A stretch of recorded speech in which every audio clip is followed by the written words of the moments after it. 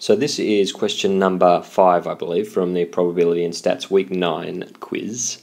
Um, and we are given a hypothesis test here with the sample size of n drawn from a normal population, so we're using a z statistic, and um, we've got a known variance, known population variance, and the hypothesis is that mu is equal to 14 is the null hypothesis, and the alternate hypothesis is that mu is greater than 14 with a significance level of 0.05. And now it says if we were if it were true that mu is equal to 15.7, what would be the power of this test? So the thing to get your head around for this one is understanding what that means. What is the power of the test? So the power of a test is always the probability of us rejecting the null hypothesis of us rejecting the null hypothesis given that it turns out that the null hypothesis should have been rejected. So in this case, what is the probability that we reject the null hypothesis given that mu is in fact equal to 15.7?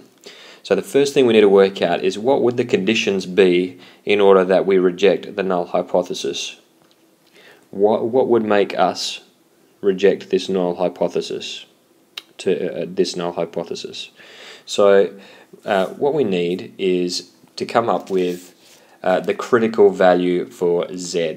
So um, we've got a z value, one-sided z value, significance value uh, 0.05 or an alpha of 0.05. So let's work out what the critical value of z is equal to. I'm just going to go look this up in the table for a second. So that comes out at uh, z is equal to 1.6449. So that is the z score corresponding to a significance level of 0.05.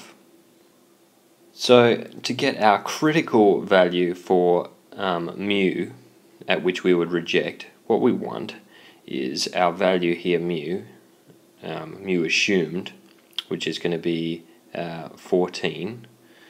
So mu crit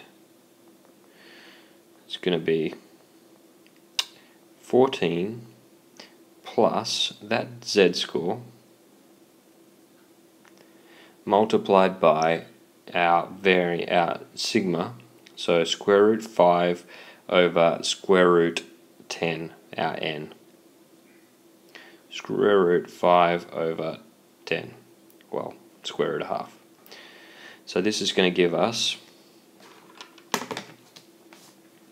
14 plus 1.6449 multiplied by root 0.5. This is going to be 15.16. Okay, so if we got an average of um,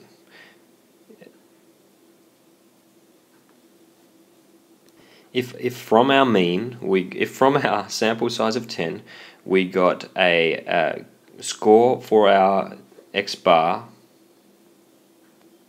of 15.16 or higher then we would reject we would reject the null hypothesis so what is the odds the odds what's the probability of us getting a value of x bar of 15.16 or higher. Well, we do that the same way as we normally do with our z statistic. So the z is going to be equal to 15.16 minus 15.7 all divided by square root of 0.5 and that's going to give us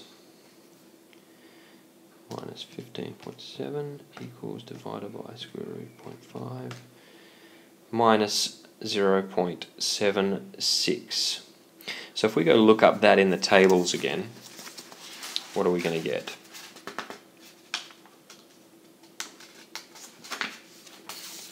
Minus 0.0.76.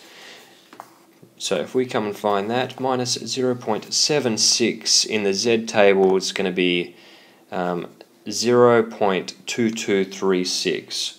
So the so let's just get rid of all this for a second. So the probability of that z is less than minus 0.76 is equal to 0.2236. So that's not our answer because this is the probability of if we if we draw out our little bell curve here in the z score remember we're looking for a value of mu greater than 15.16 um, and we've found we've got a critical a z score here is what we've found as being the chances of getting that minus 0.76 and what we actually want is that value there that's the probability of us successfully rejecting this so we want um, 1 minus uh, so that our final probability or our power is going to be equal to 1 minus 0. Point, so ugly. Let's try again.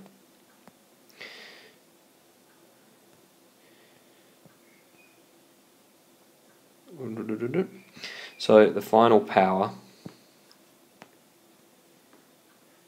is going to be equal to 1 minus 0 0.224 and that's going to give us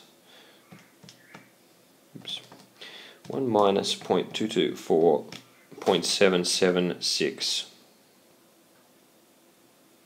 and that's our correct answer. So it looks like we're on the right track